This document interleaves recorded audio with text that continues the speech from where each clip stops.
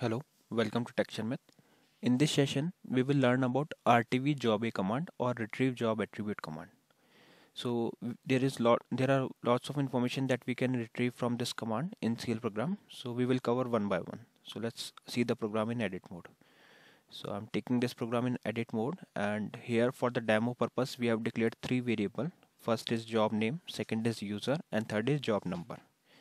Now there is one question how we will uh, get to know that how much length is required for job name? How much uh, length is required for user and job number? And what type we need to declare here? So there is one beauty with this command like we can uh, find those information also in the uh, command itself. So what you need to do you just simply uh, need to write rtv job a com command then take f4 so once you take F4 you will be reached to this screen where you can find all the information related to uh, to the variable that we want that we need to declare.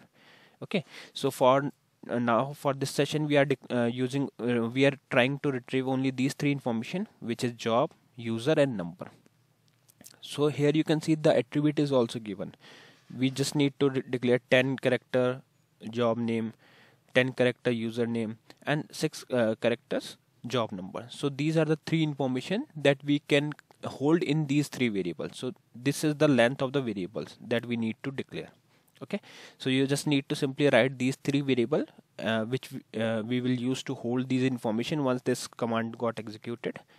So in same manner I have declared the variable here on line number 10 job name of character type of length 10 similarly user of character type of length 10 and job number of character type of length 6 so these are the three variables that we are going to use to hold the values which will be written by the retrieve job attribute command. Okay. So once this command got executed we will uh, get these information in these variable job name user and job number. So here on line number 20 we are uh, printing the job name on line number 24 we are printing the username and on line number 28 we are printing the job number. So for printing these value I'm using snd pgm command and as these variable are in character type so we can directly pass them inside the parenthesis. So you just simply need to write snd pgm then take f4 and here you can pass your variable name which you want to print. So let's try to call this program and see what it is returning so I'm compiling it. So yeah it is compiled successfully. Now I'm calling it. So once I call this program you can see there is information. We have got uh, the job name then the username and then the job number. So this is how we can use this command to retrieve such uh, such important information like job name user and job number so if I take F4 again or this RTV job command so you can see there are lots of variable or lots of information that we can retrieve from this command.